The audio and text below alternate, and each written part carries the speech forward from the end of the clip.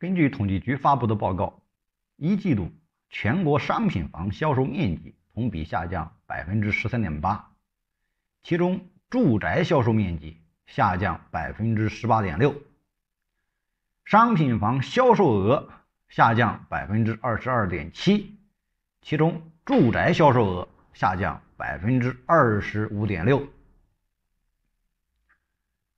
从面积和销售额来看。都是下降的，那这样一算呢，看来单价也没降多少，不过也能说明一些问题。总的来说，就是房子不好卖了，该买的都买了，买不起的还是买不起。一季度全国居民人均可支配收入是一万零三百四十五元，分城乡来看。城镇是一万三千八百三十二元，农村是五千七百七十八元。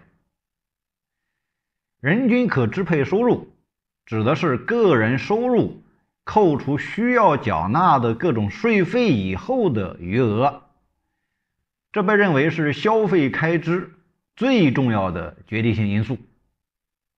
说白了就是你兜里有没有钱，因此常被用来衡量。居民生活水平的变化情况，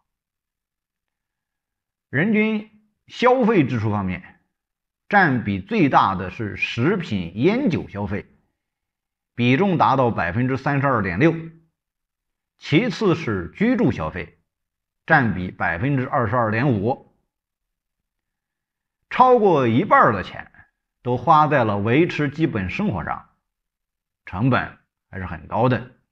压力还是很大的，衣服啊也不舍得买了，教育、文化、娱乐方面的支出也不敢大把的花钱了，意味着大家继续自我提升的意愿降低了，大家变得越来越没有理想了，生活也没有创造力和活力了，都活成了现实主义者。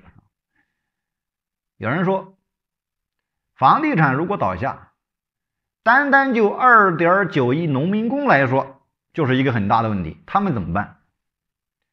上一年，全国人均可支配收入是三万五千一百二十八元，农民工人均月收入四千四百三十二元。也就是说，农民工的收入是超过居民平均收入的。在这二点九亿农民工里边，从事和房地产相关的。建筑业的人口达到五千三百多万，平均月收入四千六百九十九元，比农民工整体的收入还要高一点。所以很多人就讲了，房地产行业并不是妖魔鬼怪，上下游产业涉及的就业岗位太多了，房地产不能倒。虽然房价日益上涨。给很多家庭造成了压力，有的可能需要举全家之力，甚至两代人、三代人共同努力啊，掏空了多少个钱包才能凑一个首付。但不可否认，房地产对经济发展和解决就业问题的贡献。对于这个说法，请同志们注意，人们反对的是高房价。不是房地产这个行业，就好比大家抱怨网费太贵，但没有人否定互联网。不能偷换概念。你价格过高了以后，对自身的发展也是不利的。比如说智能手机行业，这两年销量也开始大幅下滑。功能上没有颠覆性的创新，可是价格却呼呼的往上涨。买的人自然就少了嘛，房地产也一样，价格下来了，买的人才会多，不是更能带动这个行业的蓬勃发展吗？房地产现在最突出的问题是价格问题，是居民收入与房价的上涨速度不匹配的问题。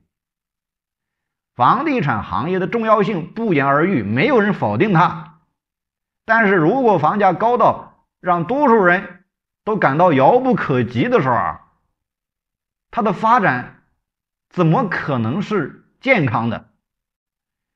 如果房价收入比不发生实质性的变化，无论是降转降息，还是解除种种限购、限贷，都只是治标不治本。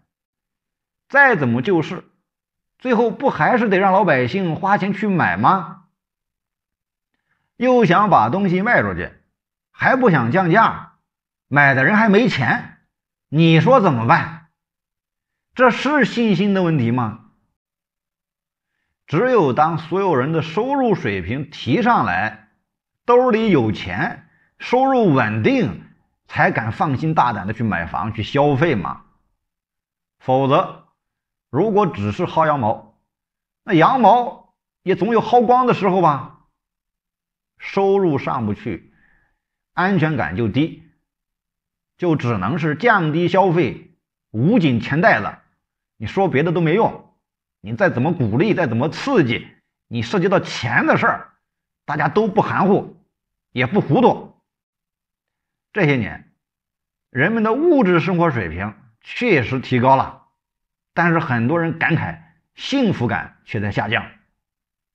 大家活的不再像以前那么从容了，也没有以前那种发自内心的轻松的笑容了。